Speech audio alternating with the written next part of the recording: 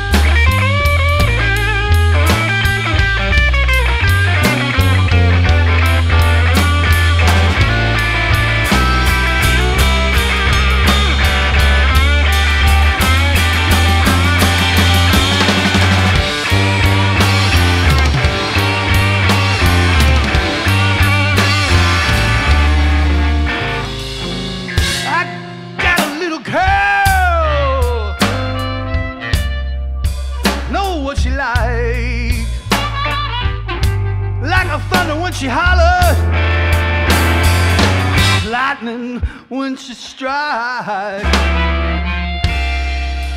Well, that's why. Love that little girl.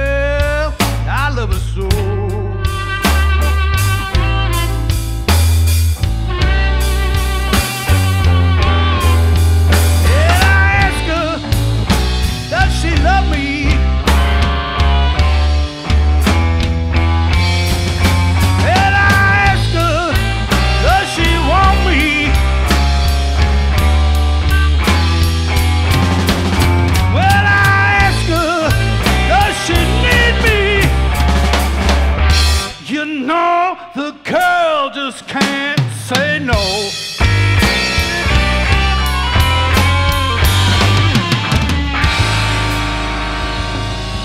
Just can't say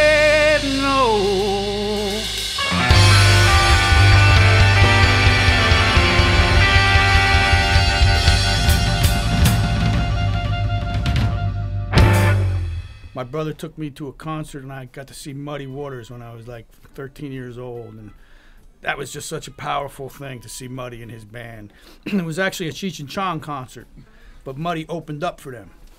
And uh, I'm just, I was blown away by Muddy. I mean, just to hear that voice and to hear, to see that band. I mean, Cheech and Chong didn't matter after that. Like, you know what I mean? I- It was like from then on, who was this Muddy Waters guy?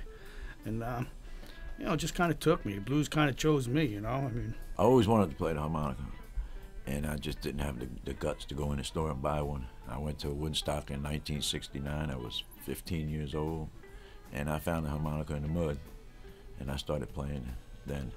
But I, I grew up in a black neighborhood, and all, all my life, all I heard was blues and soul music. And my neighbors didn't listen to rock and roll, and uh, it was a music that I felt.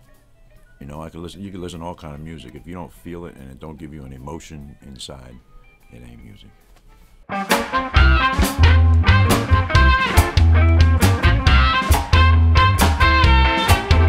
I don't know what it was. I think, you know, my brothers played guitar, and I used to like go and pluck on them, and then I'd get beat up because I touched their guitars. And I said, one day I'm going to have my own guitar, man, you know? And I did. And, um, you know, with the help of some good friends and, and a, a good music community in Central Jersey, okay? We, we come to where we are today, you know? Just playing our own music and not just playing blues, you know, like we ne- you know, we never changed from the blues thing. We've been playing blues since day one, you know. And it's what what it is.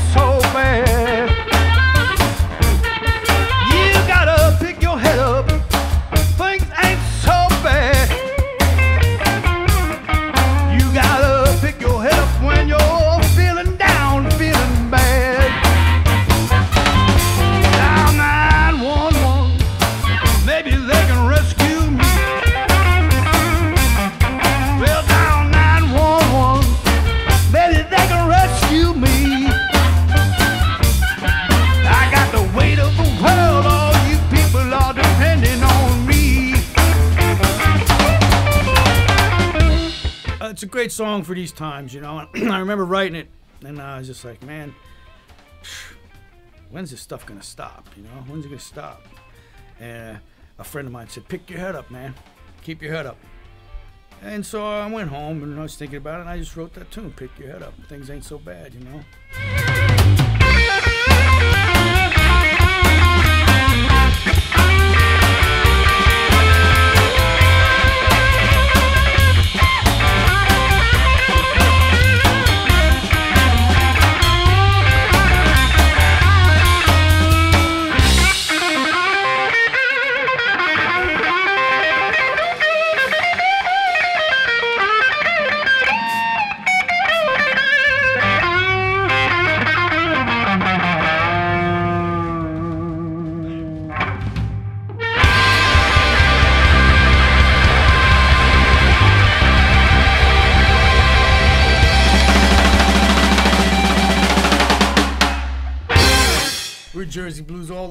Know.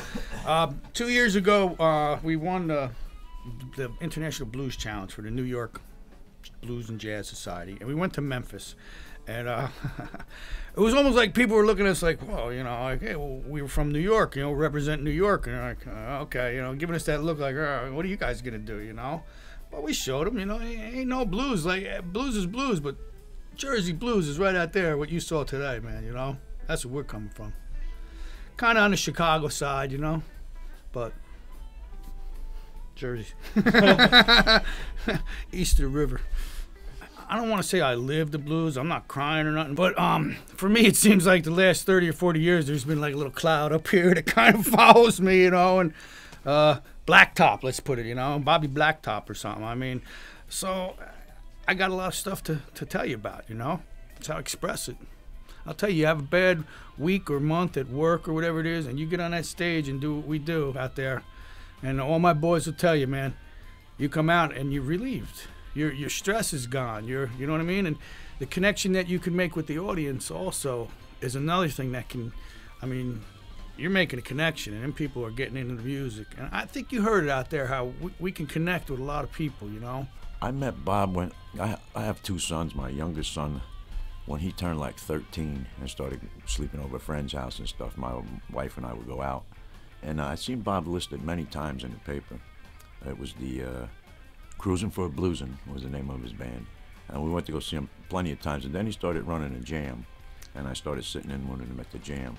But I've been playing with him uh, probably about five to seven years now, on and off. But he's my favorite. That's why I inducted him into the Blues Hall of Fame because his music comes from his heart. Definitely comes from his heart. I, I guess that's an international blues hall of fame. It's just cool to be recognized by your peers. You know, it's not a thing like you're going out there lobbying for. You you just been playing your whole life, and uh, somebody recognized that you know you like the blues, you play the blues, and you know you're a warrior for the blues. That's basically what it is, man. It's it's it's kind of a cool thing.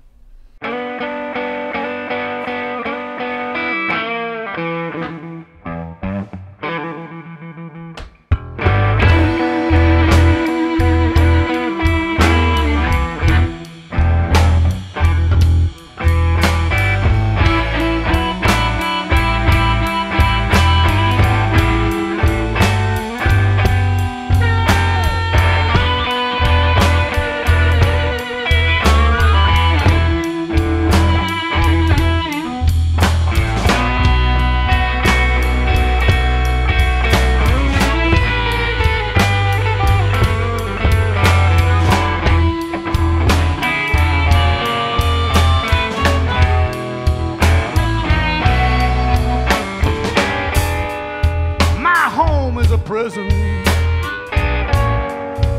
Bound down walls are full of tears.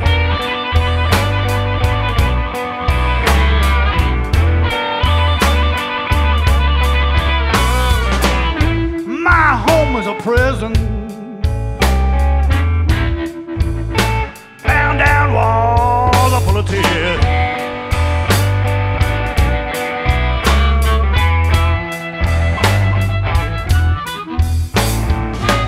Things ain't been the same now.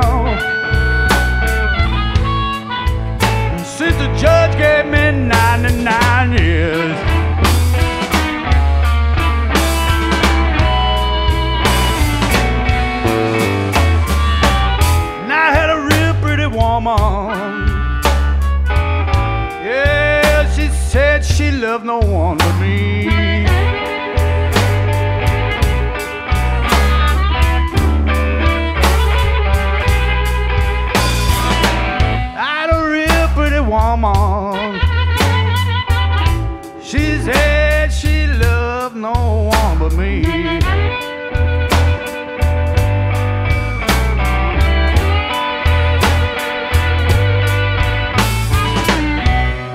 My baby cheating. My whole world turned to misery.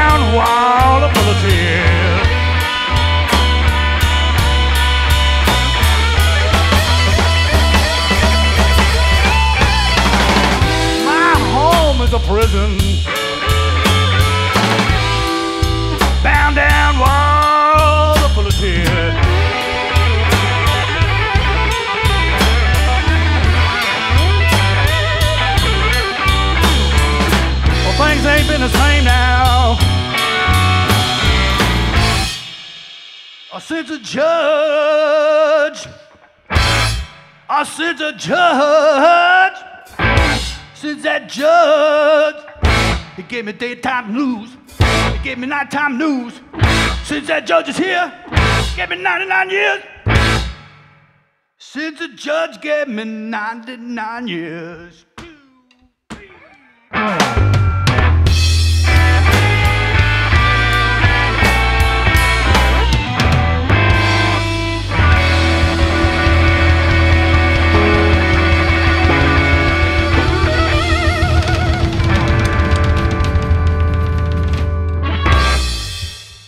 you so much, Liam.